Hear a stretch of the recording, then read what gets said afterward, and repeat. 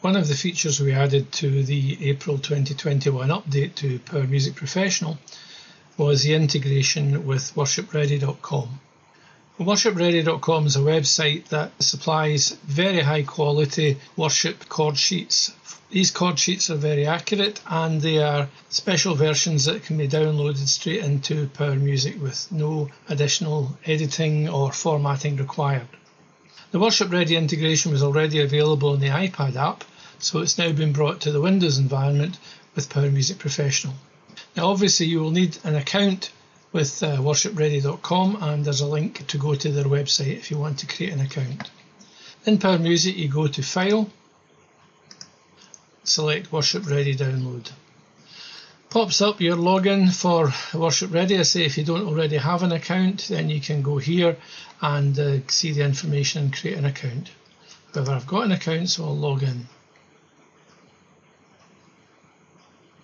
This grid shows you the list of all of the songs that are available in the worshipready.com website and there's loads and loads of songs there.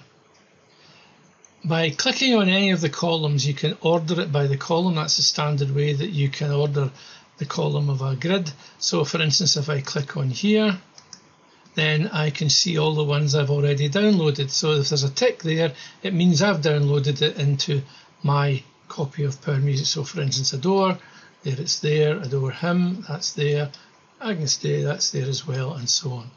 I can sort it by title. One of the more useful things is sorting it by modified date. Click it again, and that shows any new songs that have been added to the website recently, so you can see when they were added.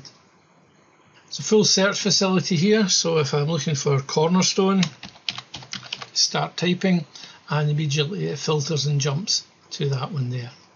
So I want to download Cornerstone and add it into my Power Music.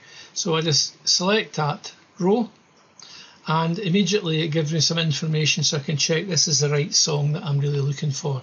It tells you the artist, who performed it and so on.